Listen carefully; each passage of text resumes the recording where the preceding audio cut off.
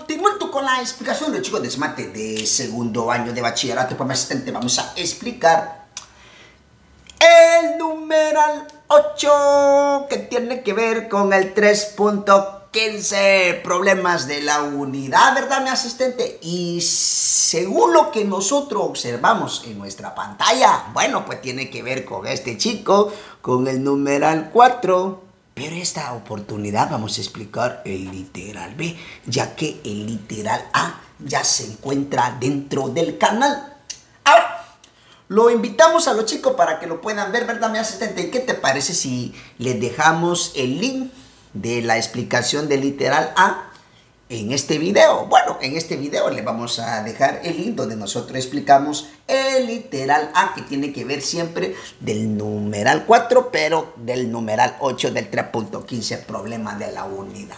Ahora, grafica las funciones inversas de las funciones trigonométricas utilizando las funciones, ojo lo que dice, las funciones restringidas del problema 4, o sea, de este chico del práctica lo aprendido del 3.14 y el problema anterior que si no me equivoco se refiere al numeral 7, donde explicamos lo que es la función tangente, pero ya restringida, ¿verdad, mi asistente? ¿Para qué? Para que sea biyectiva. Ahora, y según lo que me dice acá, restringe la función coseno para que sea biyectiva. Ojo lo que dice acá, vamos a restringir la función coseno para que sea biyectiva. Utiliza la gráfica de la, de la clase de 3.6, que es la que tenemos acá en nuestra pantalla. Donde nos dice, la siguiente figura muestra la función coseno. Bueno, ahí tenemos la función coseno. Eh, graficada en el intervalo desde 0 grado hasta 450 grados, que aquí lo tenemos o sea, desde 0 grados hasta 450 grados. Este sería el intervalo, el que tenemos acá. Utiliza la periodicidad de la función para completar la gráfica hasta el ángulo de 720, o sea, hasta acá. ¿Qué te parece si lo completamos, mi asistente? Bueno, pues si nosotros decimos... Eh, bueno, como se trata de la función coseno, si decimos coseno de de 540 grados, mi asistente. ¿Y eso qué va a ser igual? Eso va a ser igual a menos 1. Continuamos acá. Ahora, si decimos coseno de 630 grados, ¿verdad, mi asistente? Ese va a ser igual a 0. Lo ubicamos acá. Luego, si decimos coseno de 720 grados, y ese va a ser igual a 1.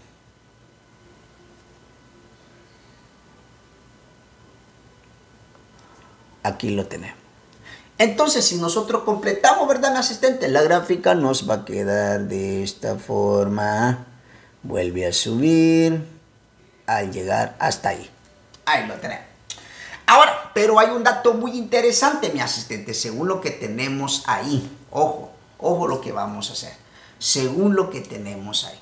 Si nos dice restringe la función coseno, para que sea biyectiva. Si nosotros observamos en esta gráfica, nos vamos a dar cuenta de que no es biyectiva. ¿Por qué razón? Porque para que sea biyectiva debe de cumplir las dos condiciones.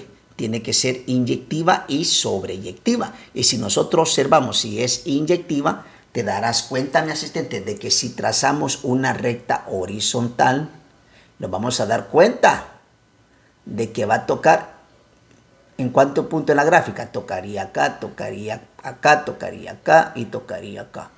Bueno, si repito, si trazamos una recta horizontal, estaría tocando en 1, 2, 3, 4. Y para que sea inyectiva solamente debe de tocar en un punto y eso significa que lo vamos a restringir ¿cómo? Bueno, a que nosotros digamos lo siguiente. Bueno, no hay que perder de vista de que aquí me dice utiliza los ángulos en el sistema circular. Ahora, si nosotros lo restringimos hasta, hasta acá, lo vamos a restringir hasta acá.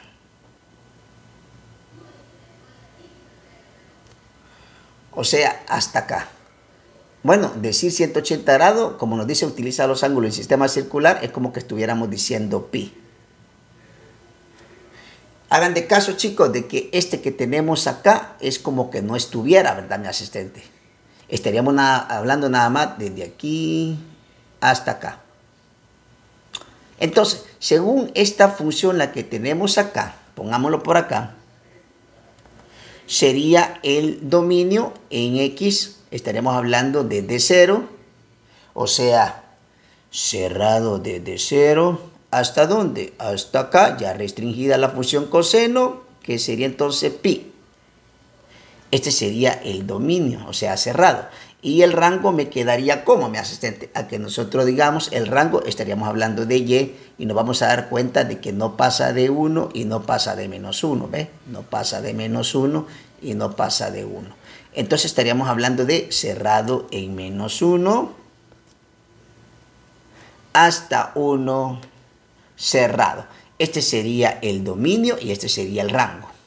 A estaríamos hablando entonces de X coseno de X, el que tenemos acá. Ya restringida la función coseno, para que sea billetiva, por supuesto, aquí lo tenemos. Ahora, luego, ¿qué vamos a hacer? Como dice acá, grafica las funciones inversa. Bueno, ¿cómo quedaría la función inversa? Bueno, la función inversa, mi asistente, sería lo contrario. Pongámoslo por acá. Función inversa, entonces vamos a poner f a la menos 1, porque vamos a plantear lo que es la función inversa. Y no hay que perder de vista de que en este caso el rango de la función pasaría a ser que el dominio de la función inversa. Y el dominio de la función pasaría a ser el rango de la inversa.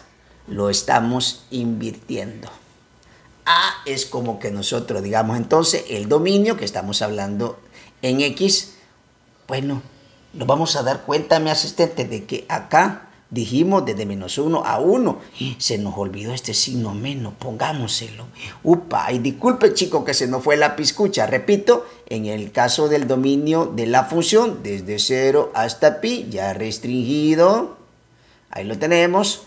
Y el rango sería entonces desde menos 1 a 1, que se nos había olvidado ponerle el signo menos, ¿verdad, mi asistente? Y dijimos nosotros que en la función inversa el rango pasaría a ser el dominio. Entonces, pongámosle el signo menos acá a este chico que también se nos fue la piscucha, ¿verdad? Mi asistente, ¿qué te parece?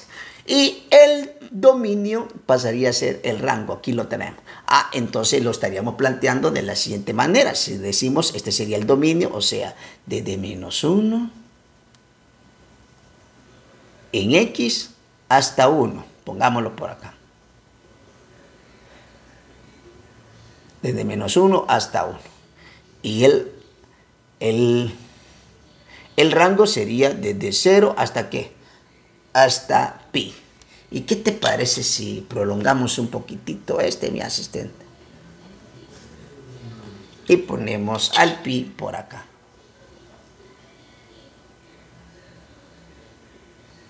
Ah, entonces estaríamos hablando de menos 1 hasta pi acá. Y estaríamos hablando aquí hasta el 1, iría acá. Entonces estaríamos diciendo entonces nosotros que la gráfica nos quedaría siempre de esta forma, pero ya invertido de la siguiente manera, a que nosotros digamos lo siguiente. Ahí lo tenemos, ¿verdad, mi asistente? ¿Qué te parece? Ahora, ¿y qué te parece si le echamos un colorcito para que se diferencien? Para la diferencia de las dos. Ahí lo tenemos.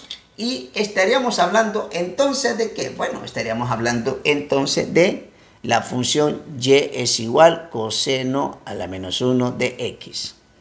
Ah, o sea que acá me quedaría entonces, ¿verdad, mi asistente? De x coseno a la menos 1 de x. Como vuelvo a repetir, chicos y chicas, esto es lo que tenemos acá. Hagan de caso que ya no lo tenemos, ya que acá teníamos ya restringida lo que es la función que la función del coseno para que sea biyectiva. No hay que perder de vista eso, que debe de cumplir, que tiene que ser inyectiva y sobreyectiva.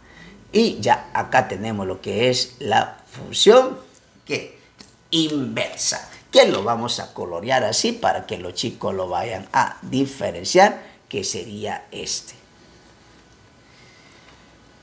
Ahora, los chicos pueden hacer un trazo, ¿verdad, asistente? Donde está el punto de intersección, ¿verdad? ¿Cómo? Bueno, haciendo lo siguiente, pasando por cero y haciendo el siguiente trazo. Para completar lo que es la gráfica. Bueno, pues te gustó el video, dale like y compártelo. Si todavía no estás suscrito a mi canal de YouTube, te invito a que te suscribas. Dios te bendiga y buena suerte con tus ejercicios. ¡Chao!